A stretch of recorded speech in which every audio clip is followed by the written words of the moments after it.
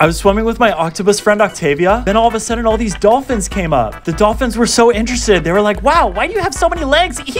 they had never met before, so it was so cool to introduce them to each other. Then Octavia wanted to show them how she swims. Oh, look at them swimming together. They're making friends. If you ever see dolphins in Hawaii, it's very important to stay completely still on the surface of the water like the girls are doing right now. If you chase them, they'll swim away, but if you just sit still, they'll come up right to you. Okay, guys, it's time for Octavia to go home. Say goodbye.